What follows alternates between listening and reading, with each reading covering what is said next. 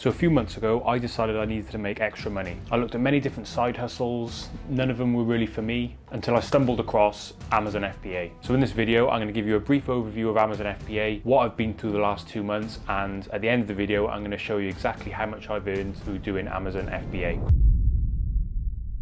So Amazon FBA is essentially buying products and then sending them to Amazon so Amazon can then sell those products and then you make profits on those items. The difficult thing though is finding those items to then send into Amazon because you can't just send in any old item because Amazon's fees are so high with what they charge packaging, storage fees, all those things. You've got to find things that are ridiculously low priced and very highly priced essentially on Amazon. So step one is you need to become a sole trader. Step two is sign up to Amazon Seller Central. The subscription is £30 a month, but if you don't have anything in your inventory, then you don't pay that £30. You only pay when you've got things in Amazon. And I gotta be honest, you're gonna be spending a lot of subscription fees for the things, the software that you need to actually find profitable products. So SellerAmp is going to be your main tool of finding pro profitable products. And essentially what it does is it finds that product on Amazon and it shows you the minimum cost price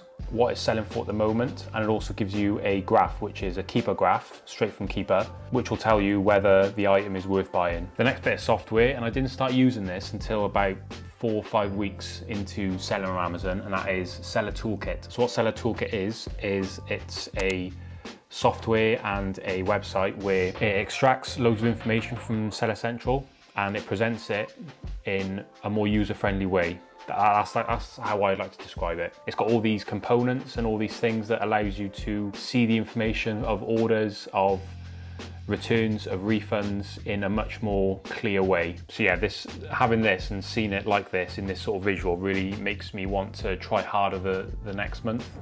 So the next subscription is a Discord server. There's a lot of Discord servers about and it's just basically finding the one that's right for you. So I joined a Discord that was 50 pounds a month, but I've recently just left it and joined another one because the one I was in, it was, you know, they, they posted really good leads, things that you could get profits on, but obviously when they're posting it into a group with over 600 members, then those listings then become incredibly saturated and the price just drops because everyone's battling for the best price. So I've just joined one that's 69 pounds a month. They got so many videos that you can go through, step-by-step -step videos, they're like an hour long, most of them. So I'm about to go and do a bit of retail arbitrage now. So hopefully I can find something to put in this video, but if not, that's just the way it goes. Like you, are never gonna find stuff all the time with retail arbitrage. It's a bit time consuming. Like if you were, if you were, if you've got a full-time job, I would recommend sticking to online arbitrage or Amazon to Amazon, but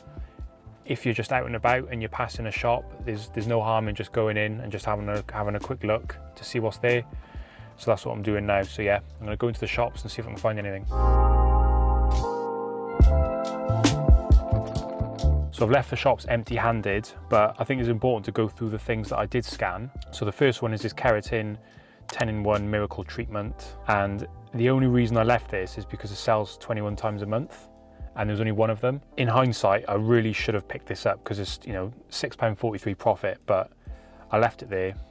Don't know why I left it there, I should have picked it up. Next one is this Label M Volume Mousse. Now this is an aerosol which is a dangerous good, which when you when you do your shipment list on Amazon and send stuff off through Amazon, you can't send dangerous goods through UPS um, using Amazon with a discounted rates. So you have to do it separately, which costs more. So yeah, I left this there for that. And I also know that I'm gated on label M. When you're gated on stuff, it basically means that you haven't got authorization to sell it. And there's different ways to ungate.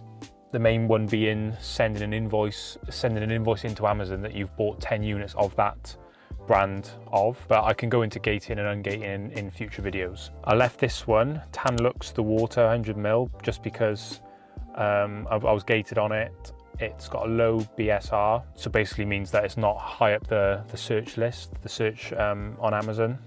So not many people are buying it basically, and as that kind of shows in the estimated sales, 17 a month. Um, Academy Bronze Express Tanning Lotion, again, gated and only sells eight times a month and a low BSR rank. Nivea Now I, I stay I stay clear of Nivea because I'm not I'm gated obviously, but a few times like uh, in in other Discord groups people have said that I had issues with Nivea, like Nivea have like shut down the listings and stuff. So yeah, I left I left that. I don't really know why I scanned it, but I, just, I was just curious. So the reality of doing Amazon when you live in a quite small house is a lot of the time things just get stored up. So these are, these arrived yesterday and yeah, I think I ordered too much, but it sells quite well on Amazon and I've gotten really, I've gotten a lot better at finding stuff now, which is I'm happy with. So I, I know that it's not much of a risk buying all that stock, but yeah, that's getting sent off tomorrow. It's Sunday night tonight, so I'm going to be spending all evening now. This is this is just the reality of it. Like I'm going to spend all evening now putting stickers on 160 units boxing it up, labeling, everything like that, getting it ready for pickup tomorrow. And yeah, I'll I, can, I can show you a few things. So there's a few things there that I got Amazon to Amazon. So it's when the price drops on Amazon and you basically just get it for the low price and then you send it back in at the at the high price that everyone else is selling it for. And then yeah, I've got some stuff up there which is from online, but I'm not going to show those. Downstairs was online as well. I'm really I'm really getting used to using Keepa. Like Keepa is like I've been watching loads and loads of videos on it. But yeah, it's now time to show you how much I've earned from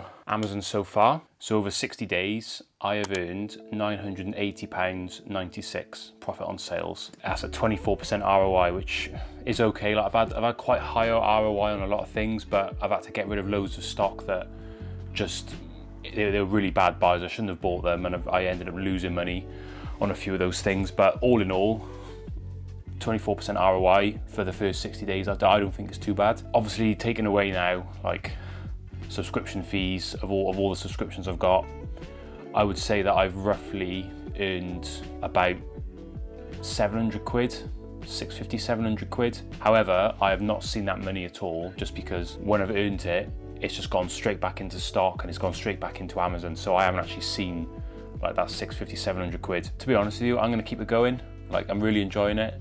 It's nice it's nice to kind of apply myself to to something that is actually like you can you can see it like every day you're seeing it sort of taking away, making money, and the numbers are kind of up and down and stuff. It's, it's really interesting. So I can I can understand why people quit early on because it's a long process to get started. It's a lot to learn. Like I'm still learning as well. Like I'm in my third month now and I'm still learning loads. I feel like I feel like I'm still wet behind the ears to be honest. But yeah, if you want me to make more Amazon FBA videos, like I'm more than happy to do so. Obviously I'm still very much a novice, like, but I think seeing videos like that and someone who is gen genuinely starting from scratch. The Amazon sellers that have been doing it for years and years and years, you know, on TikTok and YouTube and stuff, like a lot of their a lot of the jargon kind of gets lost because they're kind of obviously they know the business inside and out but to people like me to people like people who are starting it's quite hard to understand like the, the, amount of videos I watched and it was quite hard to grasp like it was quite hard to understand but I needed someone to kind of sit down with me and just